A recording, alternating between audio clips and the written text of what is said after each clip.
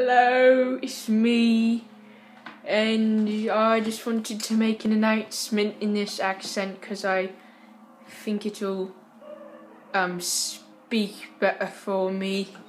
Anyway, um, I haven't been posting many videos lately. I'm so sorry for that.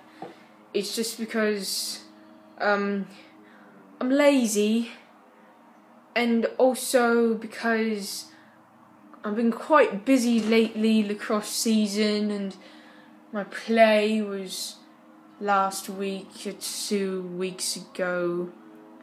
Quite a blast, really. But I do promise I have two songs in store for you. I have one, it's going to be, I guess you could say, the sequel to the Social Studies Project series um, of course, it is an assignment from my teacher. It's going to be about the Battle of Pickett's Mill in the Civil War, and it's really. I can't tell you what song I parodied, but that would spoil it. But, um, and then also, just in general, another song that I've written. And finally, in my defense for not posting any videos, it's because I have no idea where my camera is. So if you know, please return it, because I'm assuming you've stolen it. And if you know and you're in my family, also return it, because you're probably more likely to have stolen it than anybody else. So, thank you for being so ever so patient.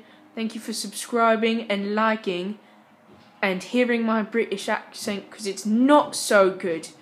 I'm sure I'm really making fun of a whole lot of British people in the world, but I'm really sorry. So, um, it's just kind of fun.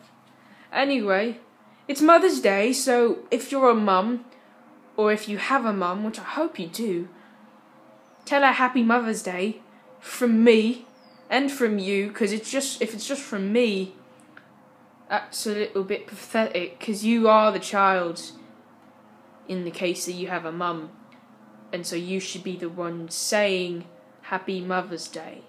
So, cheers. I'll see you when I post another video. Bye.